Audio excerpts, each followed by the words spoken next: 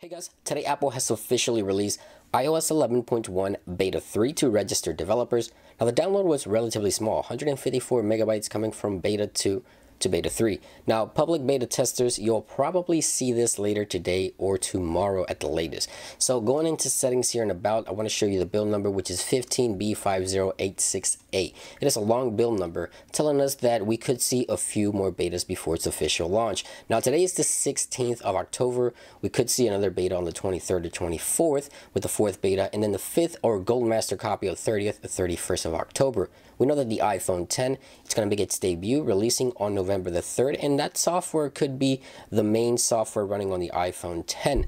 Now, we'll have to wait and see, but most likely 11.1 is going to be on the iPhone 10, not 11.0.3 or anything like that. So let's go ahead and wait and see what Apple does in terms of software. One thing that I did want to point out was that we still have yet to get the iMessages in iCloud. So that setting is still not present on either of these two devices, Beta 2 or Beta 3, and we don't have the peer-to-peer -peer payments within iMessages enabled either. So those settings are still yet to be enabled before the official launch. I'm pretty sure Apple's going to be enabling those, and they're internally testing the peer-to-peer -peer payments with Apple retail employees. If you want to go ahead and watch that video, I'll link it down below. I have a full video devoted to peer-to-peer -peer payments on Apple Pay. Another thing I did wanted to point out that when you go to settings and display accommodations, one thing that I wish Apple would do is to change the invert color here when we go into the smart invert and make it so Safari would show the proper colors, giving us some sort of a dark mode. Because we do have proper colors when we go here to this panel here.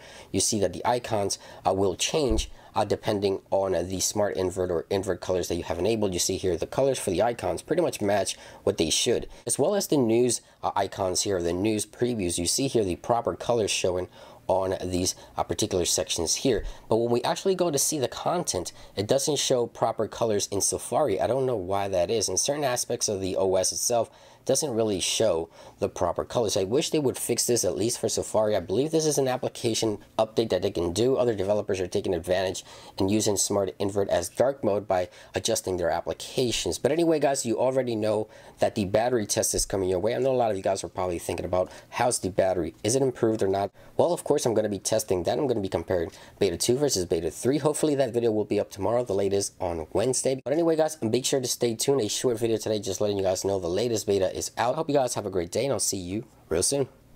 Peace.